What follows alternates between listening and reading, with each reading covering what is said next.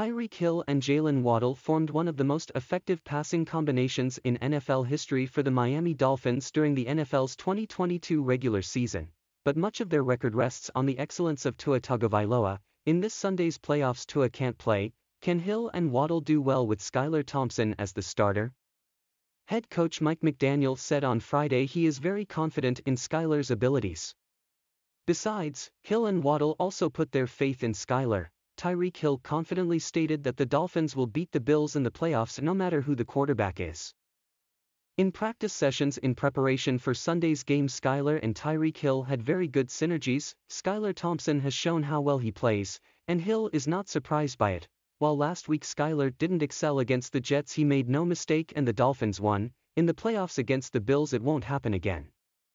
McDaniel has his own plans for Skylar, and he also gets help from the best wide receiver duo in the NFL right now, Tyreek Hill and Jaylen Waddle.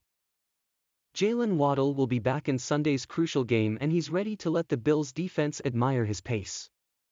With Waddle's incredible speed, head coach Mike McDaniel has his own workouts in place to develop his full potential for the upcoming game.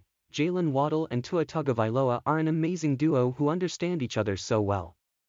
What Tua did with Waddle, it will be reproduced in this match by Skylar Thompson, in the upcoming game against the Buffalo Bills that will be the speed race of Hill and Waddle.